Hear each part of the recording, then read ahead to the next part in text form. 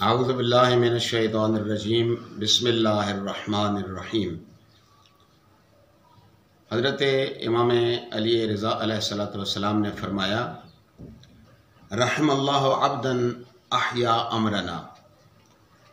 अल्लाह ताला उस शख्स पे रहम फरमाए कि जो हमारे अमर को ज़िंदा करता है। फ़कुल तो लहू वक़ैफ़ युही अमरकुम। रावी ने सवाल किया कि, मौला, आपके अमर को कैसे ज़िंदा किया जा सकता है? तो काला अलैहिस्सलाम आपने फरमाया या हमारे ूम को सीखे, व और फिर लोगों को उसकी तालीम दे।